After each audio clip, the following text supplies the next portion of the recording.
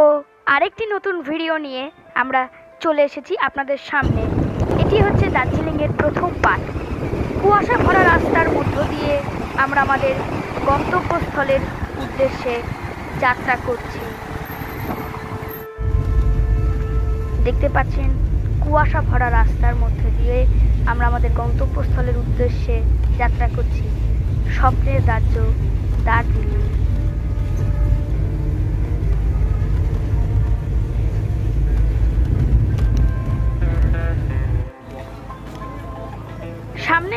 চলেছে আমাদের ড্রাইভার সাহিল দা এবং এই জায়গাটির নাম হচ্ছে ঘুম পাহাড় ফরেস্ট।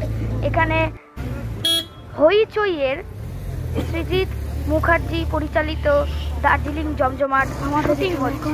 ফেলুদা শুটিং হচ্ছে। আশা করি আমাদের এই ইউটিউব চ্যানেল ছাড়া দার্জিলিং জমজমাটের শুটিংয়ের যে শেষ পার্টটুকু আপনারা দেখতে পাবেন না।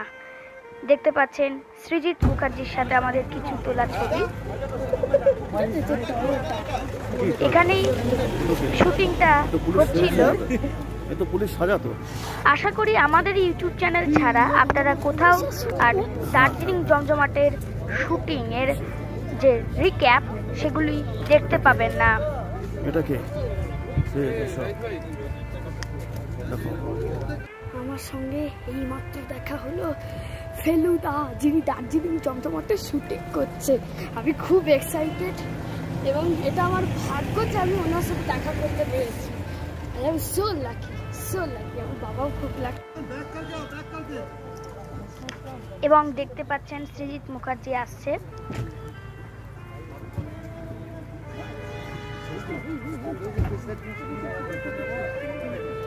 এটি আমাদের সত্যি লাকিলি সৌভাগ্য দেখতে পাচ্ছেন টোটা রায় চৌধুরী এবং। একেন বাবু যার নাম। হচ্ছে অনির্বাণ চক্রবর্তী তিনি এই সিনেমাতে জটায়ুর ভূমিকায় অভিনয় করেছিলেন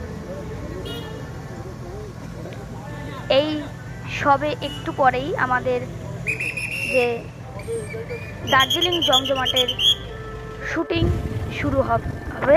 আর বলতে বলতেই দেখুন, শুটিংটা শুরু হয়ে গেছে। এই শুটিংয়ে ফেলুদার পদে ভূমিকায় গ্রহণ করেছেন টোটা রায় চৌধুরী তোপসের ভূমিকায় কল্পন মিত্র এবং জটায়ুর ভূমিকায় অনির্বাণ চক্রবর্তী। শুটিংয়ের যে জিপ তার পেছনেই আমাদের গাড়ি এবং আমরা সেই ভিডিও শ্যুট করতে করতে করতে আমাদের দার্জিলিং জমজমাটের উদ্দেশ্যে যাত্রা করছিলাম। দেখতে পাচ্ছেন প্রকৃতির অপরূপ সৌন্দর্য। এখন আমরা ম্যালের উদ্দেশ্যে হেঁটে চলে যাচ্ছি। ম্যাল সম্বন্ধে আপনাদের আর কিছু আমি নতুন করে বলতে চাই না। আপনারা সকলেই ম্যালের ব্যাপারে জানেন। আমার ঠিক বাঁ হাতেই পড়বে ক্লিনারিজ রেস্টুরেন্ট যেটি দার্জিলিংয়ের অন্যতম আরেকটি রেস্টুরেন্ট দেখতে পাচ্ছেন হো ক্লিনারিসের রেস্টুরেন্ট সবাই এখানে ফটো শ্যুট করেন। এখানে রাত্রেবেলা খুবই প্রচণ্ডভাবে ভিড় হয়। এবং দেখতে পাচ্ছেন বাঙালি স্টুডিও স্টুডিও এটি দার্জিলিংয়ের থেকে পুরনো। আপনারা দেখতে পাচ্ছেন দার্জিলিংয়ের খুবই সুন্দর একটি সূর্যোদয় আমরা দেখলাম। এবং সাথে কাঞ্চনজঙ্ঘাকেও দেখলাম। এই সূর্যোদয়টি আমরা উপভোগ করলাম টাইগার হিলে। দেখতে পাচ্ছেন ভুটানের দোরগড়া এটা। তো এটা হচ্ছে সেকেন্ড পার্ট দার্জিলিং ব্লগে আজকে সকালে আমরা টাইগার হিলে সূর্যোদয় দেখে এলাম, কাঞ্চনজঙ্ঘাকেও দেখে এলাম। তার স্টিল ছবি আমি দিয়ে দেবো এই ব্লগে এখন আমরা দাঁড়িয়ে রয়েছি মনাস্ট্রিতে মনাস্ট্রিতে একটা বিশাল বড় বুদ্ধ রয়েছে, বলা হয় দার্জিলিংয়ের সব থেকে বড় বুদ্ধ এখানে রয়েছে। দেখুন আপনারা সেই বুদ্ধকে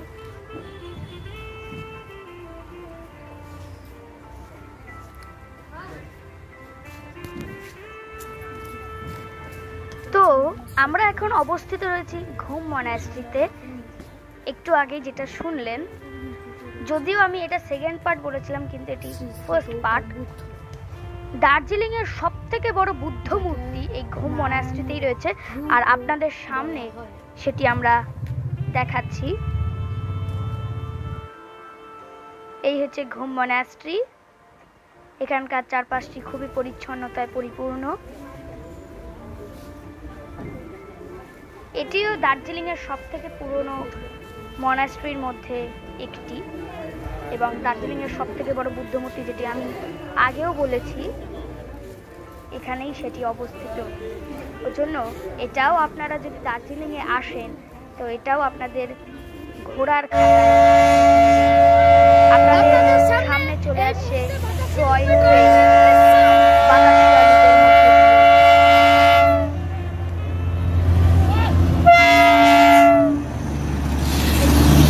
টয় ট্রেন দার্জিলিংকে যদি কেউ এক নামে চিনতে পারে সেটি হচ্ছে এই টয় ট্রেনের মাধ্যমে টয় ট্রেন হচ্ছে দার্জিলিং এর গর্ব।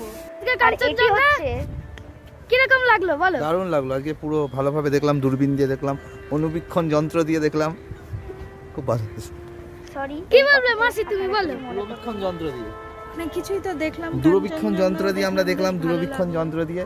কাঞ্চনজঙ্ঘা। আর তার পাশে এটা কি ছিল? কুম্বাক কাঠমুন্ডুক কাঠমুন্ডুক। খুব সুন্দর লাগল ওই দূরে কাঞ্চনজঙ্ঘা দেখা যাচ্ছে তবু ক্যামেরার মাধ্যমে দেখা যাবে কি না আমি যতটা শিওর নই। দেখুন আমার মাসির তোলা একটি ছবি। এই হচ্ছে সেই দার্জিলিং এর ঐতিহ্যশালী steam engine toy train Darjeeling এ যখন ব্রিটিশরা আসে ব্রিটিশরা প্রথম এই স্টিম ইঞ্জিন টয় ট্রেনই এখানে প্রচলন করেন। বর্তমানে টয় ট্রেনের দুটি ভাগ হয়ে গেছে ডিজেল এবং স্টিম ইঞ্জিন এবং এই স্টিম ইঞ্জিনই হচ্ছে দার্জিলিংয়ের সব থেকে পুরনো টয় ট্রেন যেটি আপনাদের সামনে এই মাত্র চলে গেল। দেখুন, চা বাগান। আজ আমরা এখানেই সমাপ্ত করছি। দেখতে পাচ্ছেন পিস প্যাগোডা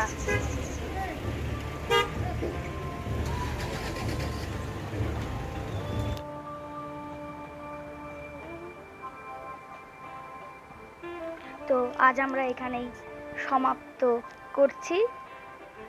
ভিডিওটা ভালো লাগলে লাইক শেয়ার আর কমেন্ট করতে ভুলবেন না যেন।